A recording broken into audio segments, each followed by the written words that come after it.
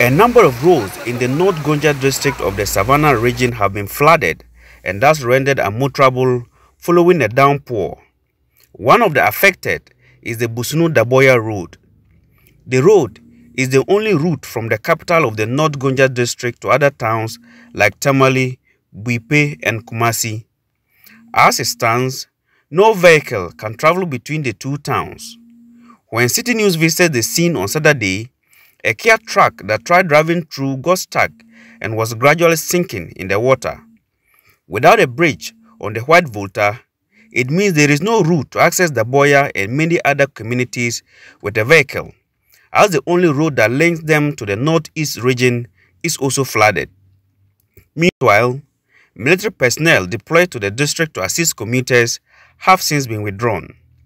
Stranded commuters who spoke to Citi News last night called on government for an urgent solution. We just came this morning and saw that the water is full. The lorries cannot pass. So we managed and pass to Tamale. But before we came back, the water increased again. This place has been broken small small. So we are now standing.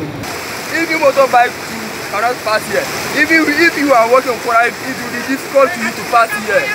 You see, and 2024 you want to come and say that you are a MP, you are DC, so uh, what and what? Can, can you come and do a police again? Do you want to kill us? Do you want us to survive? Why? I came here, I see what is going on. I see that it's not fun. The real call on government to help us. No, no, no, the project for us. As at now, we are going for our program.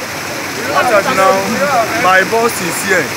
It's luckily, I never know we come and a starting program like this. The Savannah Regional Director of the National Disaster Management Organization, Mr. Mohamed Tohir, who spoke to Citi News, says some communities in the North Gonja and Bole districts have also been flooded. Currently, between uh, North Gonja and then West Gonja, uh, the road leading Busunu to Daboya is completely cut off. And then when you get to Bole district, uh, the road leading to Dokrupe, that one too is uh, seriously affected. And when you come to Sola to Nakalaba, uh, Jindabo, there is a dump there, which is also likely to be affected if the floods continue.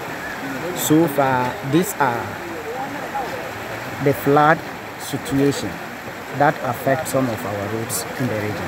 Commuters on this road from Busunu to Daboya cannot go to where they are going.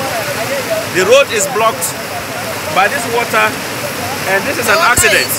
No vehicle or motorbike can pass. They are calling on government to as a matter of agency fix this road. If not, their livelihood and life cannot go on. For City News, I am Richie Fogo.